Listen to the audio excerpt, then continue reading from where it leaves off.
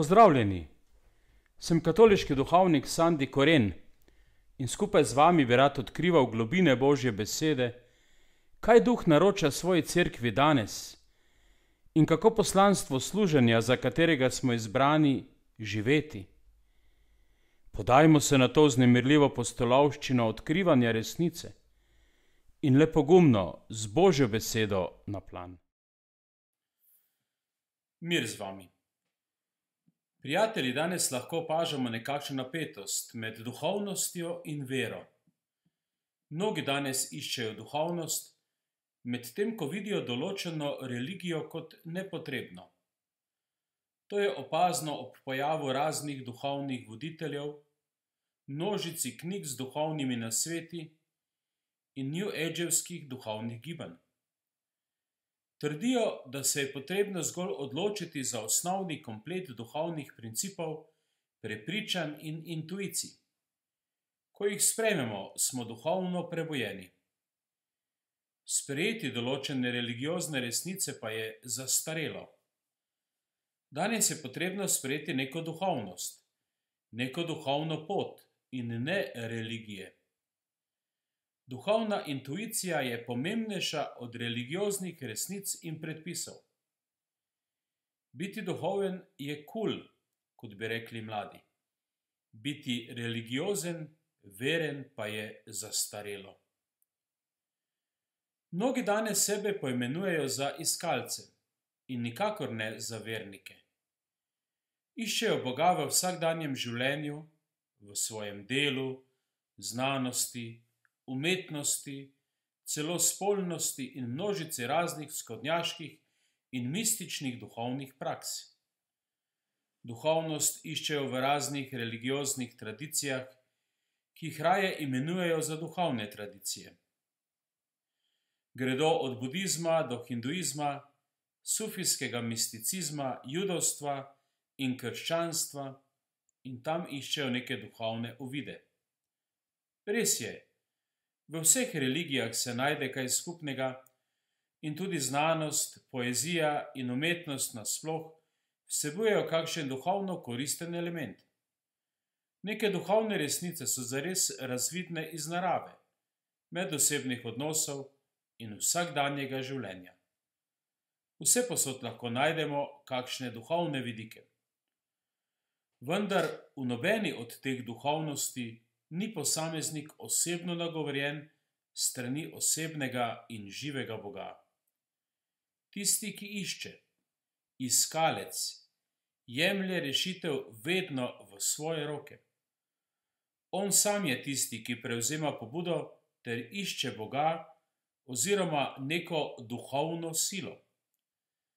Boga bi naj odkril na koncu te dolge poti. Nam grešnikom je zelo lahko in za nas ugodno spremeniti Boga v takšno oddaljeno in abstraktno silo. Bog tako ostane zgolj v nekem daljnem ozadju našega življenja. In takšen Bog od človeka nič zares ne zahteva. Takšnega Boga duhovnosti smo našli mi in to pod našimi pogoji. Gotovo je nekaj duhovnih resnic tudi v takšnem najdenju Boga, vendar to pomeni, da ne bomo nikoli zares doumeli božjih misli in božjih namenov. Poglejmo primer.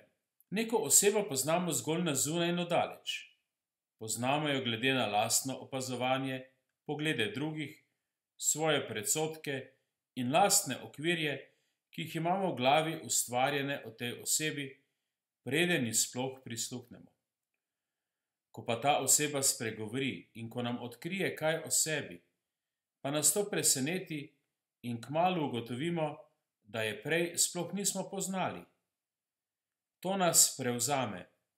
Spoznamo, da so bila naša pričakovanja ustvarjena glede na zunanje opazovanje te osebe napačna ali vsaj zelo nepopolna.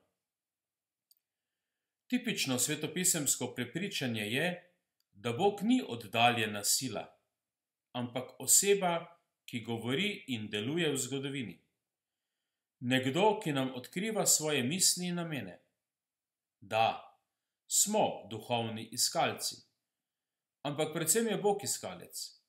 On išče nas, nam govori besedo resnice. Ta Bog razodetja se osredotoča na duhovno krepenenje človeštva in mu daje smer. Čeprav lahko potegnemo lastne zaključke o nekom, glede na zunanje opazovanje in naša pričakovanja, pa se ti zaključki spremenijo vedno, ko ta oseba spregovori in odpre svoje srce. Sedaj vidimo, zakaj takšna duhovnost, kot je zgoraj opisana, kakorkoli je dobra, ni nikoli dovolj. Duhovnost mora dati prednost nečemu višjemu, bogatejšemu in globjemu. Na tem ozadju na novo preberimo zgodbo današnjega praznika, gospodovega razglašenja, torej o potovanju modrih.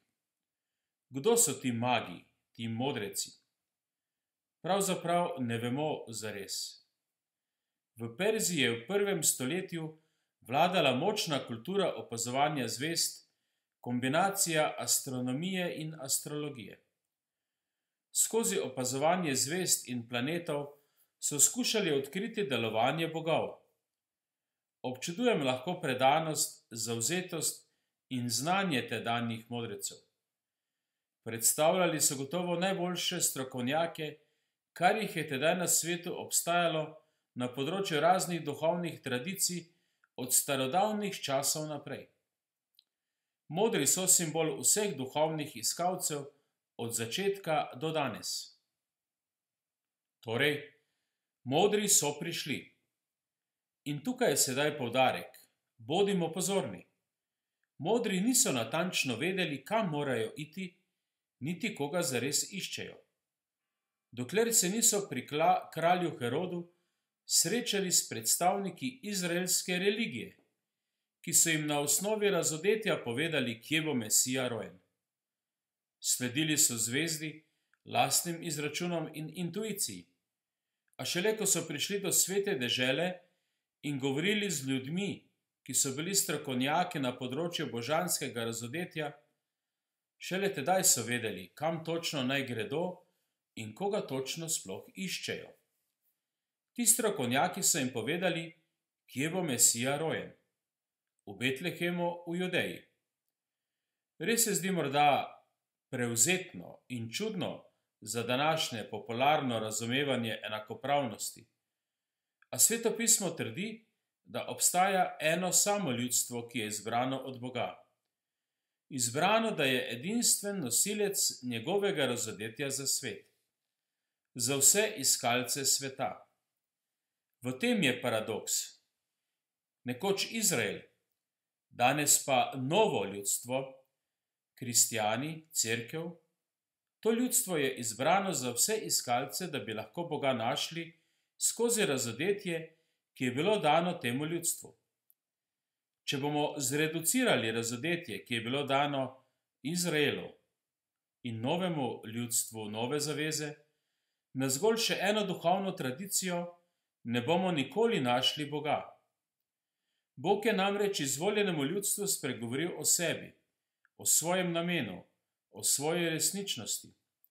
Izoblikoval je ljudstvo po svojem srcu in kot vrhunec tega razodetja poslal svojega edinega sina za odrešenje sveta. Ko so enkrat modri vedeli, kam naj gredo, so šli in našli, kar so vedno iskali.